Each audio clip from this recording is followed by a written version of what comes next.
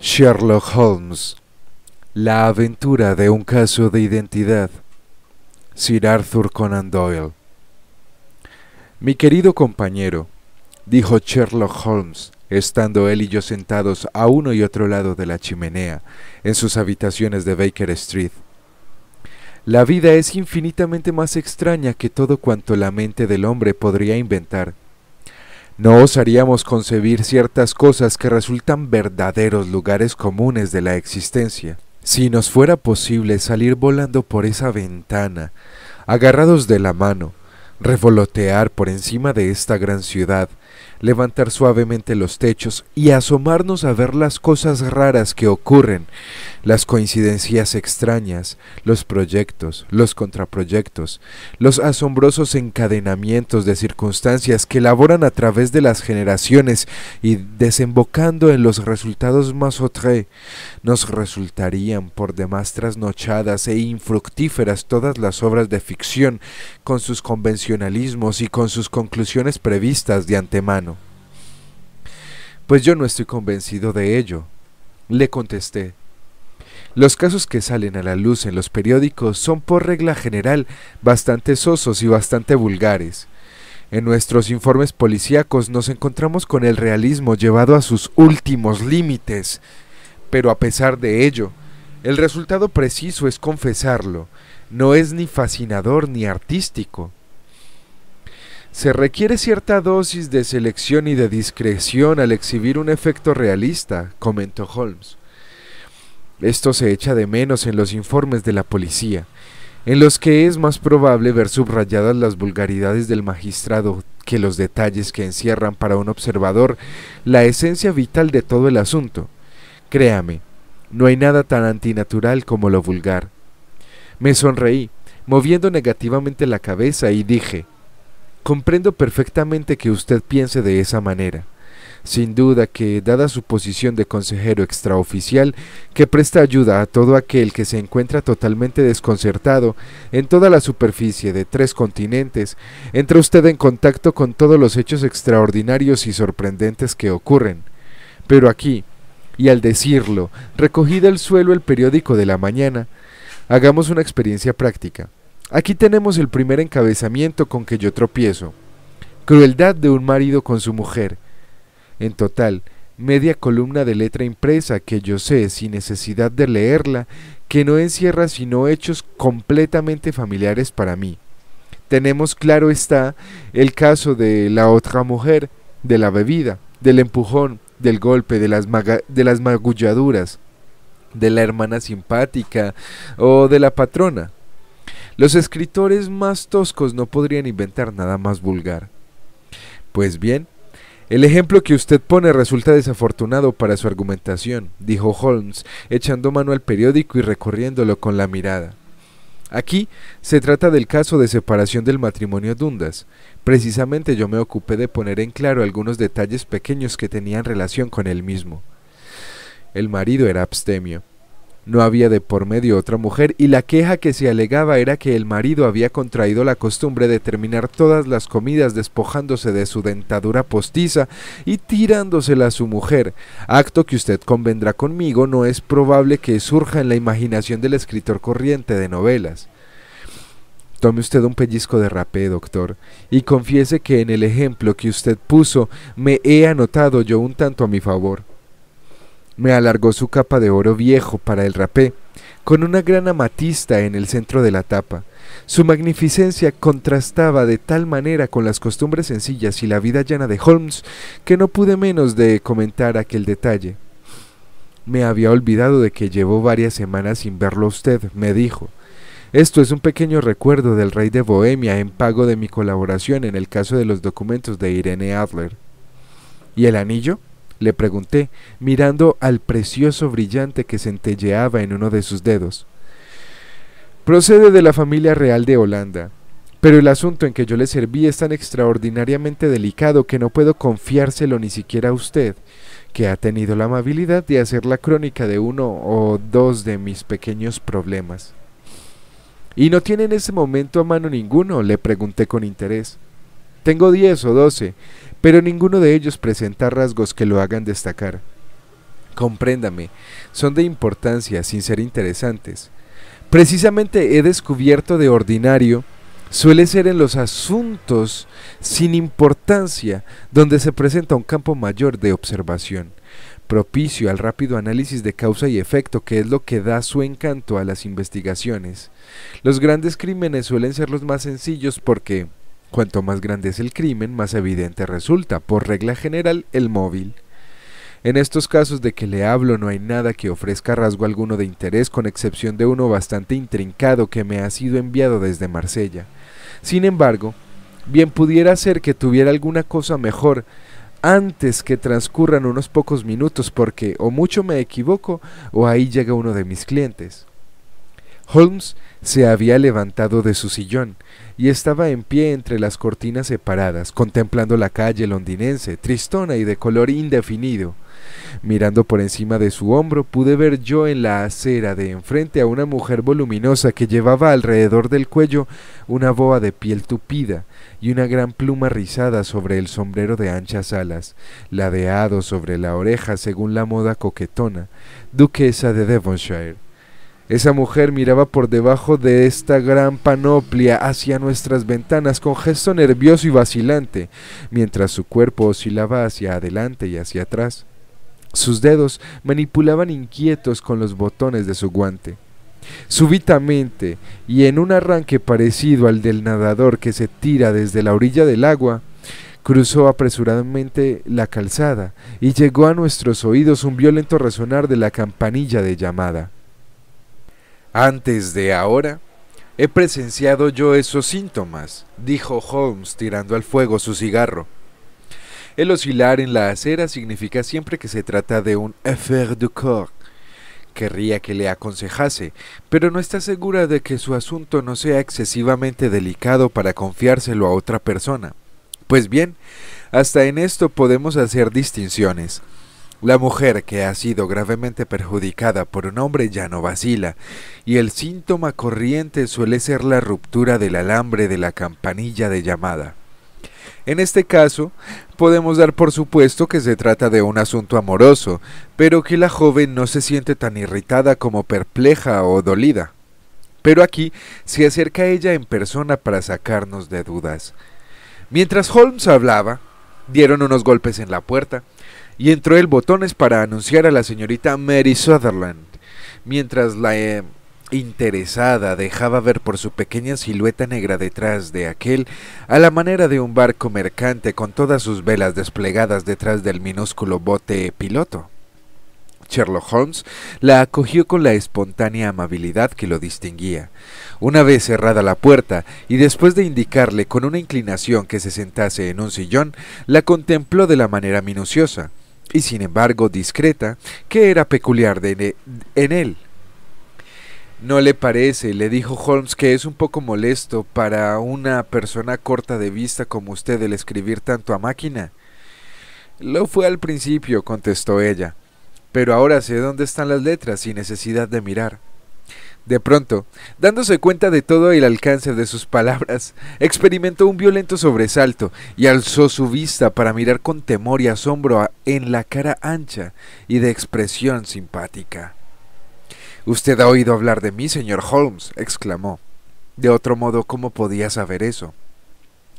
No le dé importancia, le dijo Holmes riéndose, porque la profesión mía consiste en saber cosas. Es posible que yo me haya entrenado en fijarme en lo que otros pasan por alto. Si no fuera así, ¿qué razón tendría usted para venir a consultarme? Vine a consultarle, señor, porque me habló de usted la señora Etherek, el paradero de cuyo esposo descubrió usted con tanta facilidad cuando la policía y todo el mundo lo había dado por muerto. Ay, señor Holmes, si usted pudiera hacer eso mismo para mí. No soy rica, pero dispongo de un centenar de libras al año de renta propia, además de lo poco que gano con la máquina de escribir, y daría todo ello por saber qué ha sido del señor Hosmer Angel. ¿Por qué salió a la calle con tal precipitación para consultarme? preguntó Sherlock Holmes, juntando unas con otras las yemas de los dedos de sus manos y con la vista fija en el techo. También ahora pasó una mirada de sobresalto por el rostro algo inexpresivo de la señorita Mary Sutherland, y dijo ésta En efecto, me lancé fuera de casa como disparada porque me irritó el ver la tranquilidad con que lo tomaba todo el señor Windybank, es decir, mi padre. No quiso ir a la policía ni venir a usted, y por último, en vista de que él no hacía nada y de que insistía en que nada se había perdido, me salí de mis casillas, me vestí de cualquier manera y vine derecha a visitar a usted. El padre de usted, dijo Holmes, se refería seguramente a su padrastro, puesto que los apellidos son distintos. Sí, es mi padrastro. Le llamo padre, aunque suena cosa rara, porque mm, solo me lleva cinco años y dos meses de edad. ¿Vive la madre de usted? Sí, mi madre vive y está bien. No me gustó mucho, señor Holmes, cuando ella contrajo matrimonio, muy poco después de morir papá, y lo contrajo con un hombre casi quince años más joven que ella. Mi padre era fontanero en la Tottenham Court Road, y dejó al morir un establecimiento próspero que mi madre llevó adelante con el capataz, señor Hardy. Pero, al presentarse el señor Windybank, lo vendió porque éste se consideraba muy por encima de aquello, pues era viajante en vinos. Les pagaron por el traspaso e intereses cuatro mil setecientas libras, mucho menos de lo que papá habría conseguido de haber vivido. Yo creía que Sherlock Holmes daría muestras de impaciencia ante aquel relato inconexo e inconsecuente, pero por el contrario lo escuchaba con atención reconcentrada. ¿Proviene del negocio la pequeña renta que usted disfruta? preguntó Holmes. De ninguna manera, señor. Se trata de algo en absoluto independiente y que me fue legado por mi tío Ned, de Oakland. El dinero está colocado en valores de Nueva Zelanda, al 4,5%. El capital asciende a 2.500 libras, pero solo puedo cobrar los intereses.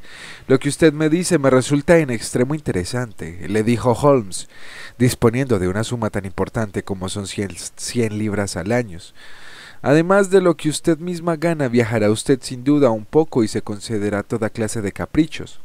En mi opinión, una mujer soltera puede vivir muy decentemente con un ingreso de 60 libras. Yo podría hacerlo con una cantidad muy inferior a esa, señor Holmes, pero ya comprenderá que mientras viva en casa no deseo ser una carga para ellos y son ellos quienes invierten el dinero mío. Naturalmente, eso ocurre solo por ahora. El señor Windyback es quien cobra todos los trimestres mis intereses. Él se los entrega a mi madre y yo me las arreglo muy bien con lo que gano escribiendo a máquina. Me pagan dos peniques por hora y hay muchos días en que escribo de 15 a 20 hojas. Me ha expuesto usted su situación con toda claridad, le dijo Holmes. Este señor es mi amigo, el doctor Watson, y usted puede hablar en su presencia con la misma franqueza que delante de mí. Tenga pues la bondad de contarnos todo lo que haya referente a sus relaciones con el señor Hosmer Angel. La cara de la señorita Sutherland se cubrió de rubor y sus dedos empezaron a pellizcar nerviosamente la orla de su chaqueta. Lo conocí en el baile de los gasistas, nos dijo acostumbraban enviar entradas a mi padre en vida de éste y siguieron acordándose de nosotros enviándoselas a mi madre. El señor Windybank no quiso ir, nunca quería ir con nosotras a ninguna parte. Bastaba para sacarlo de sus casillas el que yo manifestase deseos de ir, aunque solo fuese a una fiesta de escuela dominical. Sin embargo, en aquella ocasión me empeñé en ir y dije que iría porque ¿qué derecho tenía él a impedírmelo? Afirmó que la gente que acudiría no era como para que nosotros alternásemos con ella, siendo así que se hallarían presentes todos los amigos de mi padre. Aseguró también que yo no tenía vestido decente, aunque disponía del terciopelo color púrpura, que ni siquiera había sacado hasta entonces del cajón. Finalmente, viendo que no se salía con la suya, marchó a Francia para negocios de su firma, y nosotras, mi madre y yo, fuimos al baile acompañadas del señor Hardy, al que había sido nuestro encargado, y allí me presentaron al señor Hosmer Angel. Me imagino, dijo Holmes, que cuando el señor Windybank regresó de Francia se molestó muchísimo porque ustedes hubiesen ido al baile. Pues verá usted, lo tomó muy a bien. Recuerdo que se echó a reír, se encogió de hombros y afirmó que era inútil negarle nada a una mujer porque ésta se salía siempre con la suya. Comprendo. De modo que en el baile de los gasistas conoció usted a un caballero llamado Hosmer Angel. Sí, señor. Lo conocí esa noche y al día siguiente nos visitó para preguntar si habíamos regresado bien a casa. Después de eso nos entrevistamos con él, es decir, señor Holmes. Me entrevisté yo con él dos veces en que salimos de paseo, pero mi padre regresó a casa y el señor Hosmer Angel ya no pudo venir de visita a ella. ¿No? Verá usted, mi padre no quiso ni oír hablar de semejante cosa. No le gustaba recibir visitas, si podía evitarlas, y acostumbraba a decir que la mujer debería ser feliz dentro de su propio círculo familiar. Pero como yo le decía a mi madre, la mujer necesita empezar por crearse su propio círculo, cosa que yo no había conseguido todavía. ¿Y qué fue del señor Hosmer Angel? ¿No hizo intento alguno para verse con usted? Pues verá, mi padre iba a marchar a Francia otra vez una semana más tarde, y Hosmer me escribió diciendo que sería mejor y más seguro el que no nos viésemos hasta que hubiese emprendido viaje. Mientras tanto, podíamos escribirnos, y él lo hacía diariamente. Yo recibía todas las cartas por la mañana, de modo que no había necesidad de que mi padre se enterase. ¿Estaba usted ya entonces comprometida a casarse con ese caballero? Claro que sí, señor Holmes. Nos prometimos después del primer paseo que dimos juntos. Hosmer, el señor Angel, era cajero en unas oficinas de Leadenhall Street. ¿Y en qué oficinas? Eso es lo peor del caso, señor Holmes, que lo ignoro. ¿Dónde residía en aquel entonces? Dormía en el mismo local de las oficinas. ¿Y no tiene usted su dirección? No, fuera de que estaba en Leadenhall Street. ¿Y ahora, pues, le dirigía a usted sus cartas? A la oficina de correos de Lidenhall para ser retiradas personalmente. Me dijo que si se las enviaba a las oficinas, los demás escribientes le embromarían por recibir cartas de una dama. Me brindé pues a escribírselas a máquina, igual que hacía él con las suyas, pero no quiso aceptarlo, afirmando que cuando eran de mi puño y letra le producían en efecto la impresión de que procedían de mí, pero que si se las escribía a máquina le daba la sensación de que ésta se interponía entre él y yo. Por ese detalle podrá usted ver, señor Holmes, cuánto me quería y en qué insignificancias se fijaba. ¿Sí?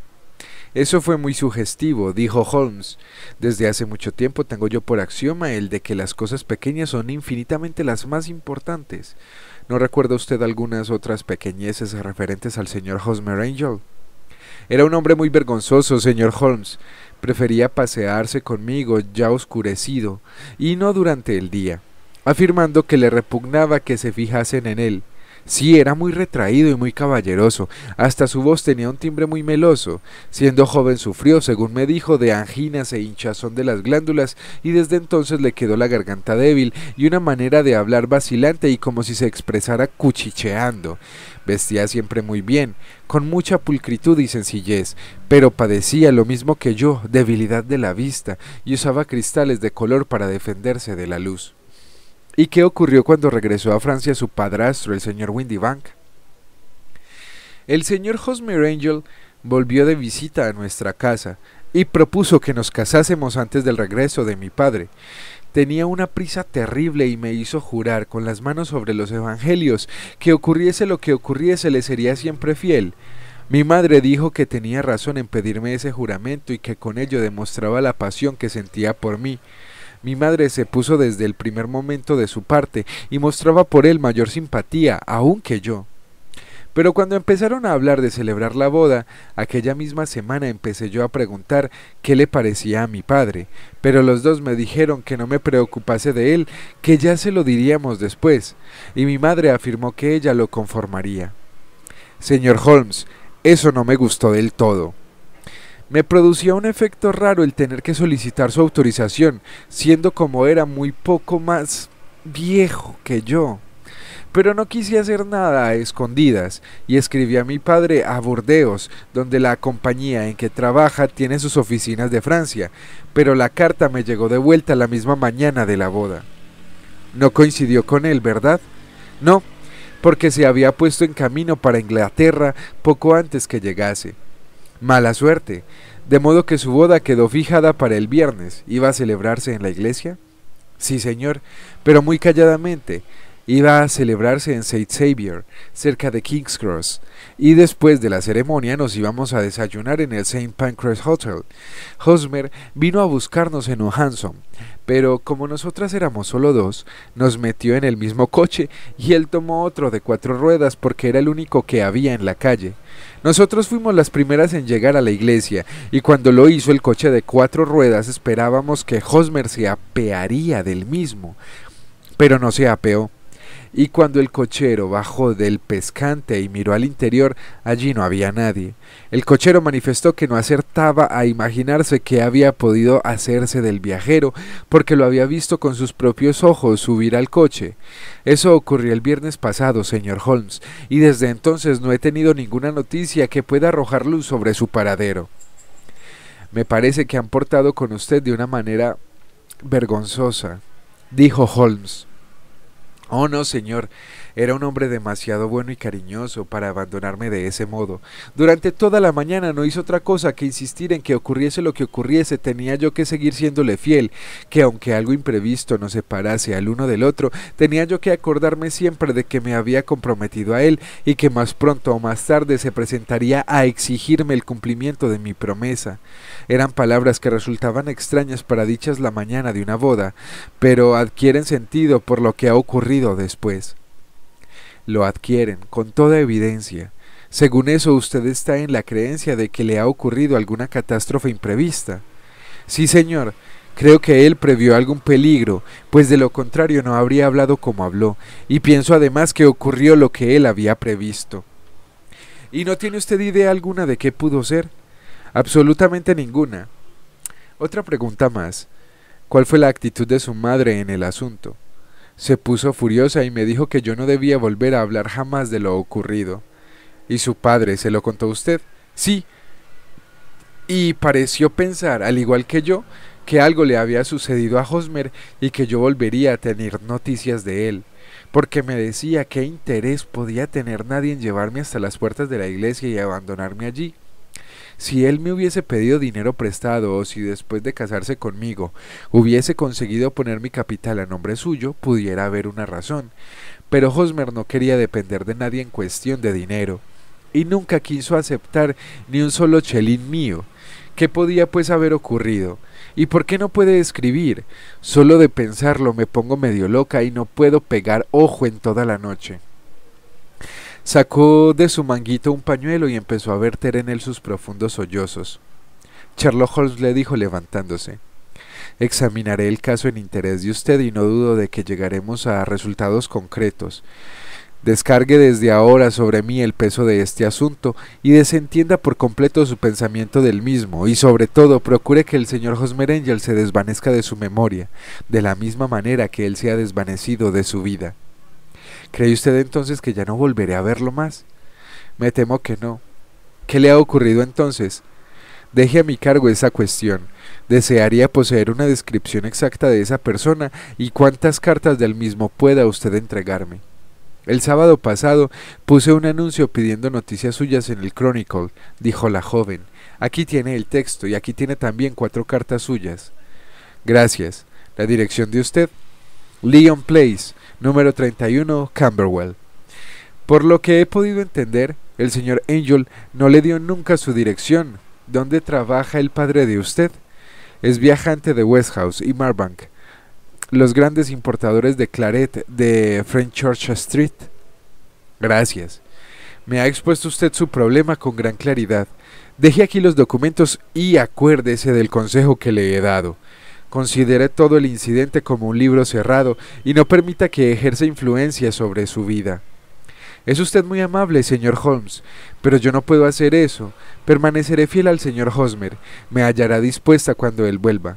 A pesar de lo absurdo del sombrero y de su cara inexpresiva, tenía algo de noble, que imponía respeto, la fe sencilla de nuestra visitante depositó encima de la mesa su pequeño lío de papeles y siguió su camino con la promesa de presentarse siempre que la llamase el señor Holmes. Sherlock Holmes permaneció silencioso durante algunos minutos con las yemas de los dedos juntas, las piernas alargadas hacia adelante y la mirada dirigida hacia el techo. Cogió luego del colgadero la vieja y aceitosa pipa de arcilla que era para él como su consejera y una vez encendida se recostó en la silla, lanzando de sí en espirales las guirnaldas de una nube espesa de humo azul, con una expresión de languidez infinita en su cara. Esta moza constituye un estudio muy interesante, comentó. Ella me ha resultado más interesante que su pequeño problema, el que dicho sea de paso es bastante trillado. Si usted consulta mi índice, hallará casos paralelos en Andover el año 77 y algo que se le parece ocurrió también en La Haya el año pasado. Sin embargo, por vieja que sea la idea, contiene uno o dos detalles que me han resultado nuevos, pero la persona de la moza fue sumamente aleccionadora. Me pareció que observaba usted en ella muchas cosas que eran completamente invisibles para mí y le hice notar. Invisibles no, Watson, sino inobservadas. Usted no supo dónde mirar y por eso se le pasó por alto todo lo importante. No consigo convencerle de la importancia de las mangas, de lo sugeridoras que son las uñas de las pulgares, de los problemas cuya solución depende de un cordón de los zapatos. Veamos, ¿qué dedujo usted del aspecto exterior de esa mujer? Descríbamelo. Llevaba un sombrero de paja, de alas anchas y de color pizarra, con una pluma de color rojo ladrillo. Su chaqueta era negra, adornada con avalorios negros y con una orla de pequeñas cuentas de azabache. El vestido era color marrón, algo más oscuro que el café, con una pequeña tira de felpa púrpura en el cuello y en las mangas. Eh, sus guantes tiraban a grises, completamente desgastados en el dedo índice de la mano derecha. No me, no me fijé en sus botas. Ella es pequeña, redonda, con aros de oro en las orejas y un aspecto general de persona que vive bastante bien, pero de una manera vulgar, cómoda y sin preocupaciones. Sherlock Holmes palmeó suavemente con ambas manos y se rió por lo bajo. Por vida mía, Watson, que está usted haciendo progresos. Lo ha hecho usted, pero que muy bien. Es cierto que se le ha pasado por alto todo cuanto tenía importancia, pero ha dado usted con el método y posee una visión rápida del color. Nunca se confía en impresiones generales, muchacho, concéntrese en los detalles. Lo primero que yo miro son las mangas de una mujer. En el hombre tiene quizá mayor importancia la rodillera del pantalón. Según ha podido usted advertir, esta mujer lucía felpa en las mangas y la felpa es un material muy útil para descubrir rastros. La doble línea un poco más arriba de la muñeca en el sitio donde la mecanógrafa hace presión contra la mesa estaba perfectamente marcada. Las máquinas de coser movidas a mano dejan una señal similar pero solo sobre el brazo izquierdo y en la parte más alejada del dedo pulgar, en vez de marcarla cruzando la parte más ancha como la tenía esta. Luego miré a su cara y descubrí en ambos lados de su nariz la señal de unas gafas a presión, todo lo cual me permitió aventurar mi observación sobre la cortedad de vista y la escritura, lo que pareció sorprender a la joven. También me sorprendió a mí, sin embargo, era cosa que estaba a la vista. Me sorprendió mucho después de eso y me interesó al mirar hacia abajo el observar que a pesar de que las botas que llevaba no eran de distinto número, sí que eran disparejas, porque una tenía la puntera con ligeros adornos mientras que la otra era lisa. La una tenía abrochados únicamente los dos botones de abajo, eran cinco, y la otra los botones primero, tercero y quinto. Pues bien, cuando una señorita joven, correctamente vestida en todo lo demás, ha salido de su casa con las botas desparejas y a medio abrochar, no significa gran cosa el deducir que salió con mucha precipitación. ¿Y qué más? le pregunté, vivamente interesado, como siempre me ocurría con los incisivos razonamientos de mi amigo. Advertí de pasada que había escrito una carta antes de salir de casa, pero cuando estaba ya completamente vestida. Usted se fijó en que el dedo índice de la mano derecha de su guante estaba roto, pero no se, no se, fijó por lo visto en que tanto el guante como el dedo estaban manchados de tinta violeta. Había escrito con mucha prisa y había metido demasiado la pluma en el tintero. Eso debió ocurrir esta mañana, pues de lo contrario la mancha de tinta no estaría fresca en el dedo. Todo esto resulta divertido, aunque sea elemental, Watson, pero es preciso que vuelva al asunto. ¿Tiene usted inconveniente en leerme la descripción del señor Hosmer Angel que se da en el anuncio? Puse de manera que le diese la luz el pequeño anuncio impreso que decía Desaparecido la mañana del día 14 un caballero llamado Hosmer Angel, estatura 5 pies y 7 pulgadas, de fuerte conformación, cutis y bigote, usa gafas con cristales de color y habla con alguna dificultad. La última vez que se le vio, vestía levita negra con solapas de seda, chaleco negro, albertina de oro y pantalón gris de paño Harris, con polainas oscuras sobre botas de elástico. Sábese que estaba empleado en una oficina de la calle Hall Street, cualquiera que proporcione, etcétera, etcétera. Con eso basta, dijo Holmes. Por lo que hace a las cartas, dijo pasándoles la vista por encima, son de lo más vulgar, no existe en ellas pistas alguna que nos conduzca al señor Angel, salvo la de que cita una vez a Balzac. Sin embargo, hay un detalle notable y que no dudo le sorprenderá a usted, que están escritas a máquina, hice notar yo. No solo eso, sino que incluso lo está la firma. Fíjese en la pequeña y limpia inscripción de Hosmer Angel que hay al pie.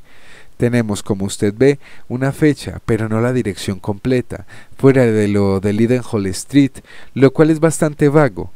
Este detalle de la firma es muy sugeridor, a decir verdad pudiéramos calificarlo de probatorio. ¿Y qué prueba?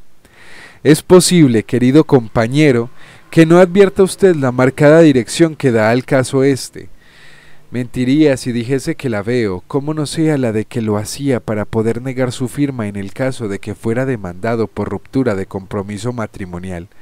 ¿No?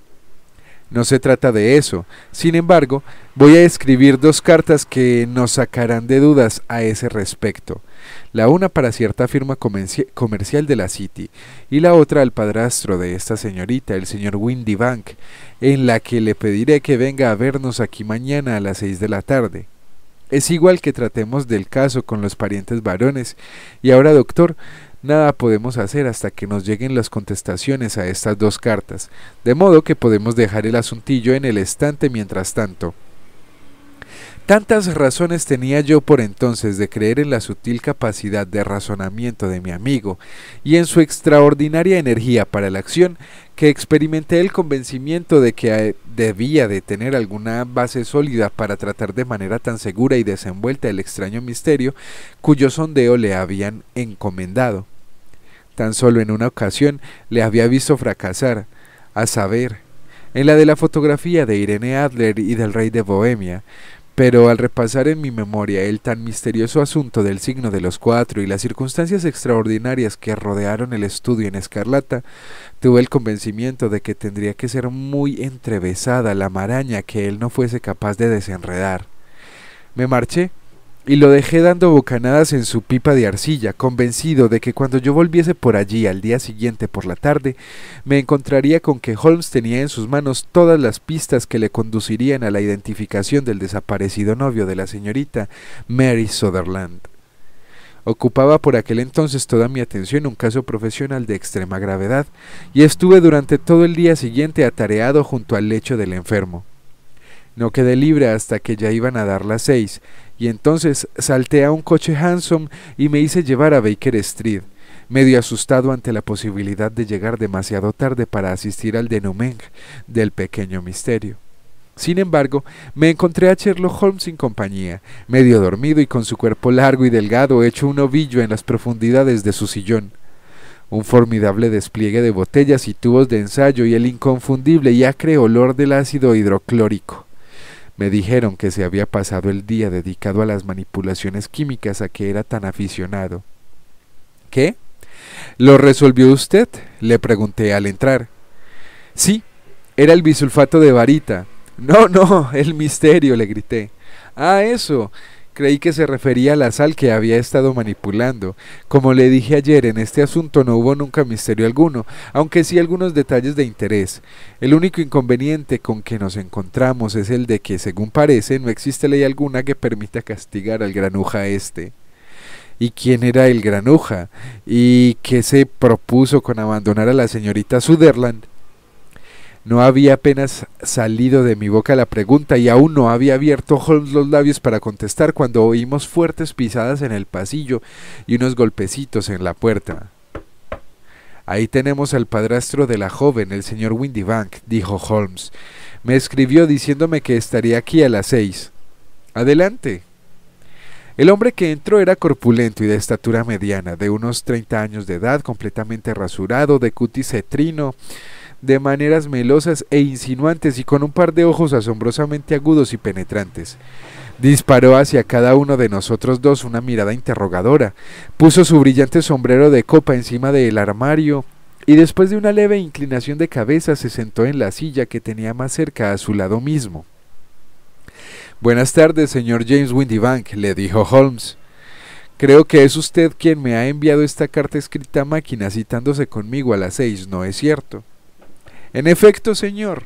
Me temo que he llegado con un pequeño retraso, pero tenga en cuenta que no puedo disponer de mi persona libremente. Siento que la señora Sutherland le haya molestado a usted a propósito de esta minucia, porque creo que es mucho mejor no sacar a pública colada estos trapos sucios. Vino muy contra mi voluntad, pero es una joven muy excitable e impulsiva, como habrá usted podido darse cuenta, y no es fácil frenarla cuando ha tomado una resolución. Claro está que no me importa tratándose de usted, que no tiene nada que ver con la policía oficial, pero no resulta agradable el que se airee fuera de casa un pequeño contratiempo familiar como este. Además, se trata de un gasto inútil, porque ¿cómo va usted a encontrar a este Hosmer Angel? Por el contrario, dijo tranquilamente Holmes, tengo toda clase de razones para creer que lograré encontrar a ese señor. El señor Windybank experimentó un violento sobresalto y dejó caer sus guantes diciendo Me encanta oír decir eso. Resulta curioso, comentó Holmes, el que las máquinas de escribir den a la escritura tanta individualidad como cuando se escribe a mano.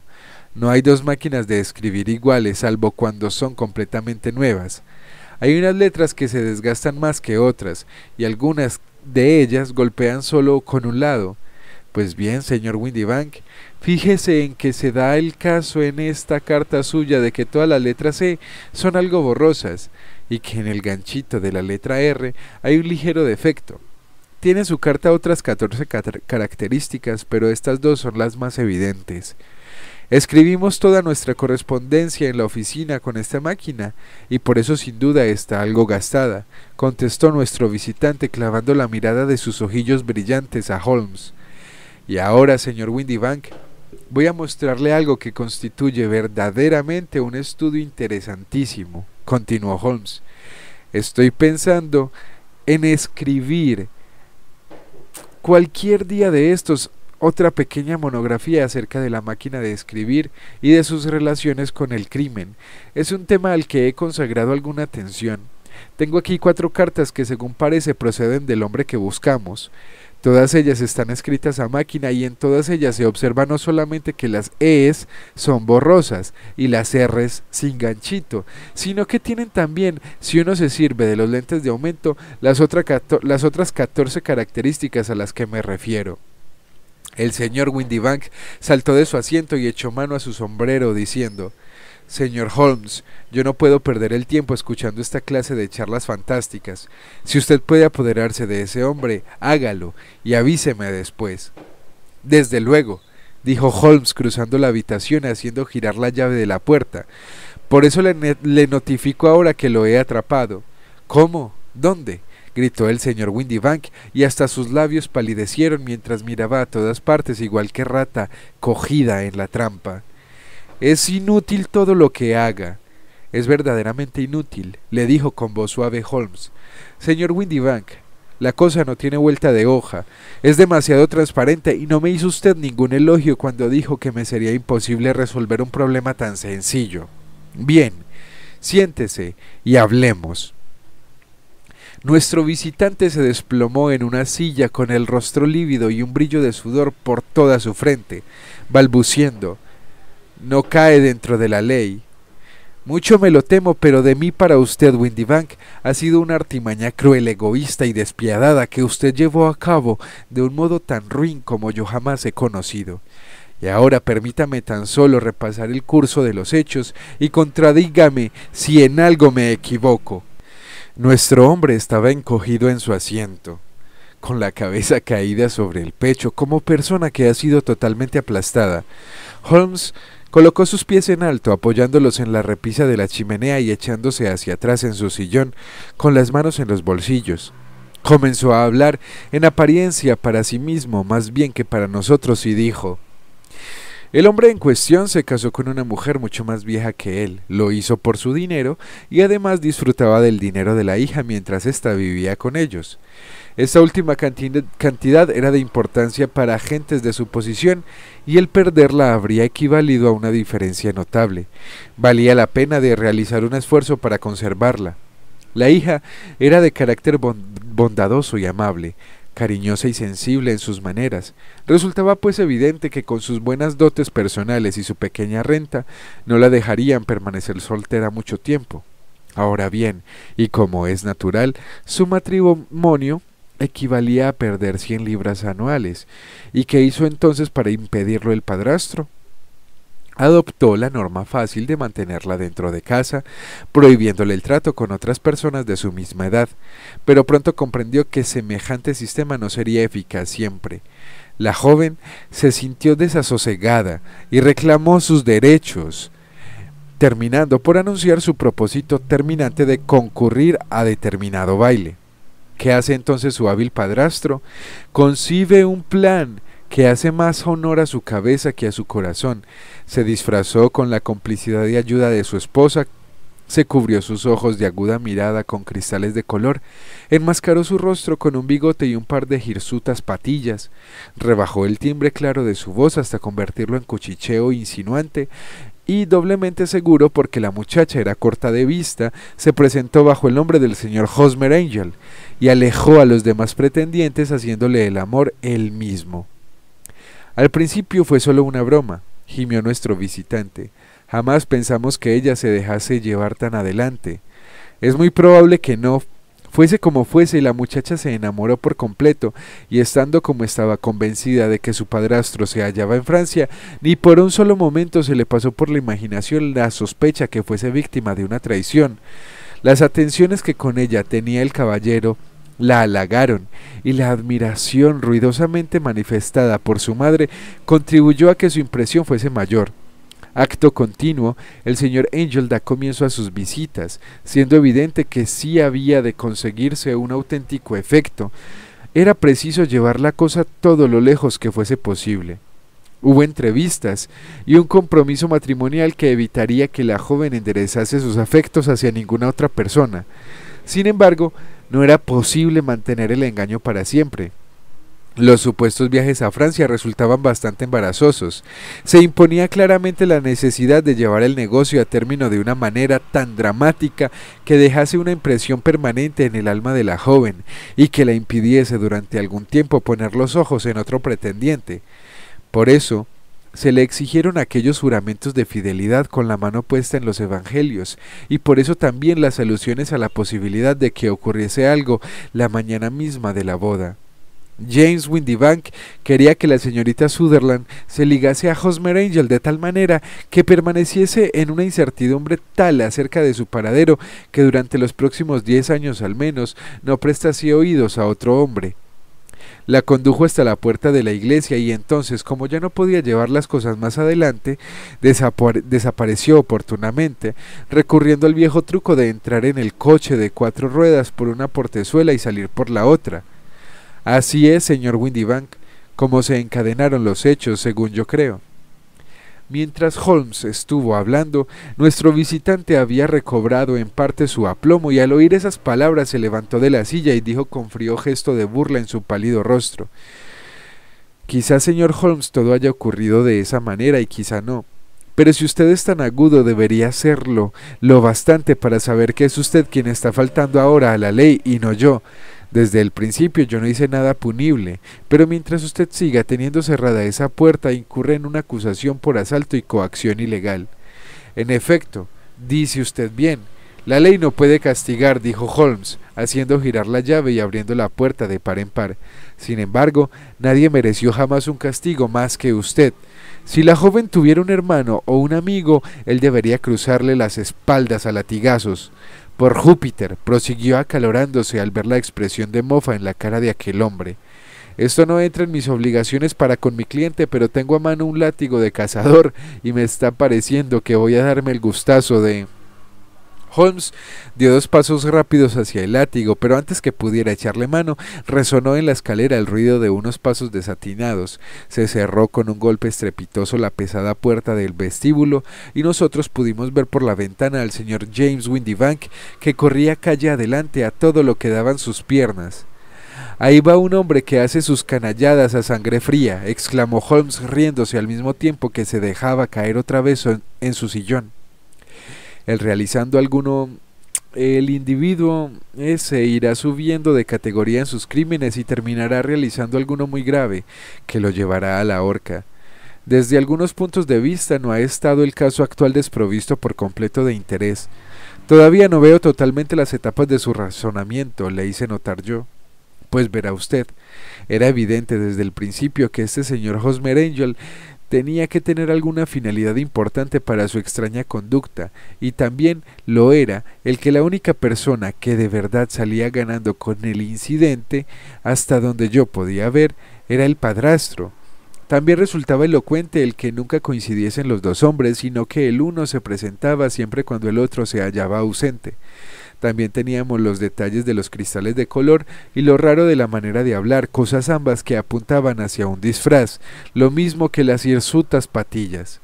Mis sospechas se vieron confirmadas por el detalle característico de escribir la firma a máquina, porque se deducía de ello que la letra suya le era familiar a la joven y que ésta la identificaría por poco que él escribiese a mano. Comprende usted que todos estos hechos aislados, unidos a otros muchos más secundarios, coincidían en apuntar en la misma dirección. ¿Y cómo se las arregló para comprobarlos? Una vez localizado mi hombre, resultaba fácil conseguir la confirmación, yo sabía con qué casa comercial trabajaba este hombre. Examinando la descripción impresa, eliminé todo aquello que podía ser consecuencia de un disfraz, las patillas, los cristales, la voz, y la envié a la casa en cuestión pidiéndoles que me comunicasen si correspondía a la descripción de alguno de sus viajantes. Me había fijado ya en las características de la máquina de escribir y envié una carta a nuestro hombre dirigida a su lugar de trabajo preguntándole si podría presentarse aquí. Su respuesta, tal y como yo había esperado, estaba escrita máquina, y en ella se advertían los mismos defectos triviales pero característicos de la máquina. Por el mismo correo me llegó una carta de Westhouse and Marbank de Frenchurch Street, comunicándome que la descripción respondía en todos sus detalles a la de su empleado James Windyback. Voilà tout. ¿Y la señorita Sutherland? Sí, yo se lo cuento a ella, no me creerá. Recuerde usted el viejo proverbio persa. Es peligroso quitar su cachorro a un tigre y también es peligroso arrebatar a una mujer una ilusión. Hay en Afis tanto buen sentido como en Horacio e igual conocimiento del mundo.